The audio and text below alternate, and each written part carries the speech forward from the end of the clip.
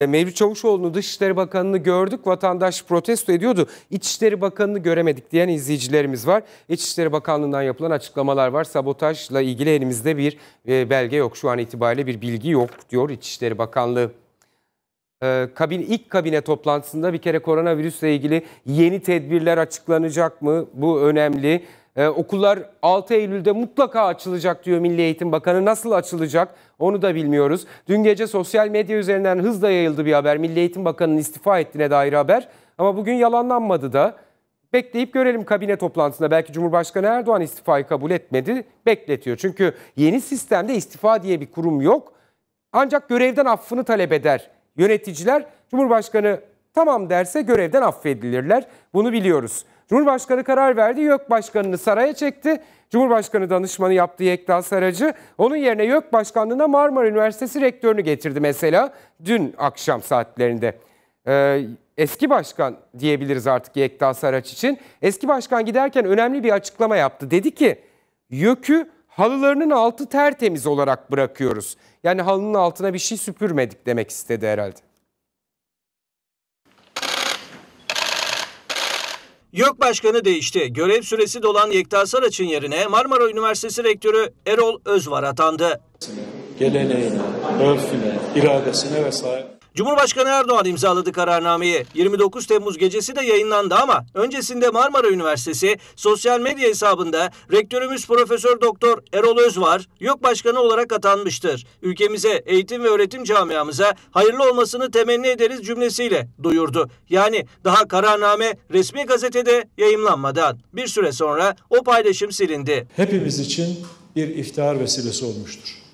Yekta Saraç'ın yeni görev adresi ise Beştepe oldu. Saraç yine Erdoğan'ın imzasıyla Cumhurbaşkanı Başdanışmanlığına getirildi. YÖK'e veda mesajında ise kurduğu cümleler dikkat çekti. Eğilip bükülmeden gücümüz nispetinde emrolunduğun gibi dost doğru ol ilkesini unutmadan her türlü icraatta doğru olanı aradık. Son olarak yükü halılarının altı tertemiz olarak bırakıyoruz. Görevimizi alnımızın akıyla başımız dik olarak tamamladık. Yeni Yok Başkanı Erol Özvar, İktisat ve İktisat Tarihi Profesörü. 1966 yılında İstanbul'da doğdu. 1989 yılında Marmara Üniversitesi İktisat Bölümünde lisans mezuniyetini tamamladı. Aynı üniversitede İktisat Tarihi alanında yüksek lisans ve doktora yaptı. İstikbalimizi borçlu olduğumuz tüm şey Bir sıcak gelişme var. Demirören Haber Ajansı haberi geçmiş az evvel. İhlas Haber Ajansı da görüntüleri geçiyor Konya'dan. Maalesef kötü bir haber bu. Konya'da bir eve silahlı saldırı düzenlendi. Aralarında kadınların da olduğu 6 kişinin öldürüldüğü ve ardından evin ateşe verildiği belirtiliyor. Çok yeni bir haber bu. Saat 18.50 sıralarında Konya'nın merkez Meram ilçesi Hasanköy mahallesi Özşahin sokakta meydana gelen bu evde e, Özşahin sokakta bulunan bu evde meydana geldi olay. E, kimliği belirsiz kişi ya da kişiler bu eve baskın düzenliyor silahlı ve silahla aralarında kadınların da olduğu 6 kişiyi öldürüyor. Ardından da evi ateşe veriyorlar. Çıkan yangın söndürülmüş itfaiye aracı görebiliyorum. Yer Konya Meram ilçesi Hasanköy mahallesi. Nedir sebebi? Henüz belli değil. Ama bu akşamın sıcak haberi bu Konya'dan gelen haber. Evi de yakıyorlar sonrasında. Önce silahla saldırıyorlar. 6 kişiyi öldürüp evi de ateşe veriyorlar. Yangın söndürüldü. 6 kişi hayatını kaybetti. Konya Meram'da bu akşamın sıcak haberi bu. Ne olduğu, neden düzenlendiği bu saldırının belli olacaktır elbette. Önümüzdeki günlerde neler yaşanır, neler biter. Toplumsal barış çok önemli. Heyecanla, öfkeyle e, hareket etmemek çok mühim. Türkiye e, Türkiye sonbaharda bir seçim görebilir mi? Ya da önümüzdeki sene yaz aylarında belki ilkbaharda bir seçim olabilir mi? Bu tarihine karar verecek olan galiba MHP lideri Devlet Bahçeli. Ne söylerse bugüne kadar o oldu. Erken seçime gitme kararlarını hep Devlet Bahçeli verdi. AKP'den önce de, üçlü koalisyon döneminde de.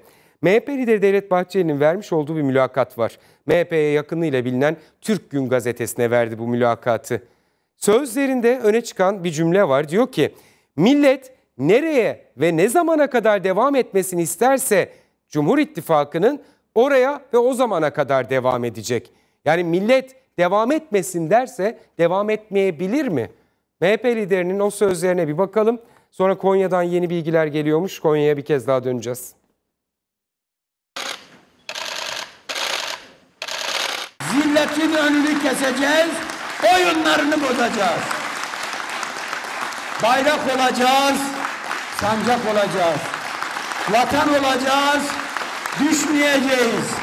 Türkiye'yi kesinlikle düşürmeyeceğiz. MHP lideri Devlet Bahçeli, MHP yakınlığıyla bilinen Türk Gün gazetesine konuştu. Cumhur İttifakı ne zamana kadar devam edecek sorusuna yanıt verdi. Millet nereye ve ne zamana kadar devam etmesini istiyorsa o zamana kadar. Bir vade biçmek doğru değil. Biz millet ne diyor ona bakarız. Türkiye'nin şartları, milli güvenliği, milli bekası, istikrarı, demokratik normalleşmesi neyi gerektiriyorsa onu yaparız. Cumhur İttifakı tarihin doğru yerinde, doğru şekilde, doğru zamanlamayla durmaktadır.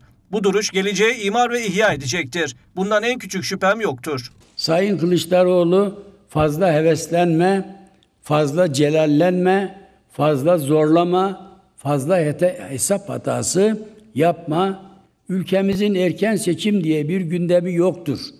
Bunu da kiralık aklından sakın çıkarma. Sandık 2023 Haziran ayında gelecek seçmenin önüne. Erdoğan da Bahçeli de erken seçim yok seçim zamanında diyor. 2023'te Cumhur'un zaferini yaşayacağız. Cumhuriyetin önünü aydınlatacağız. Bunları yapabilecek inancımız, itibarımız, irfanımız, imanımız, irademiz bunlarla mündemiç ittifakımız vardır. Biz sadece bir seçim ittifakı kurmadık. Çatladı çatlıyor türü haberlerin hiçbir ciddiyeti yoktur. İttifak camdan vazo değil ki çatlamaya müsait olsun.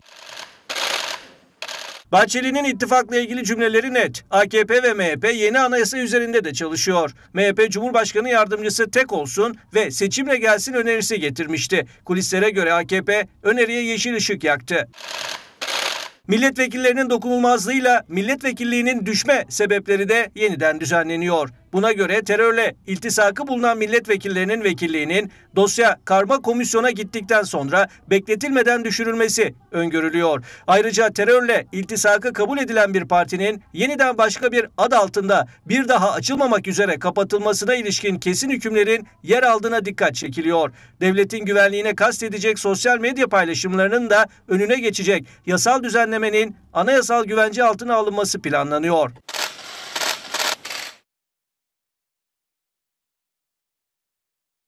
Ee, gözümüz kulağımız bu, bu kez Konya'da. Konya'daki bu silahlı saldırının sebebi neydi? Olayın arkasında, arka planında ne yatıyor? Ortaya çıkacaktır elbette. O Meram'ın büyük avlulu tek ya da iki katlı evlerinden biri saldırının düzenlendiği yer anladığımız kadarıyla. Hemen detayını da söyleyeyim. Hasanköy Mahallesi Özşahin Sokak'ta bu eve çok sayıda saldırgan olduğunu söyleyen görgü tanıkları var. Silahlı saldırganlar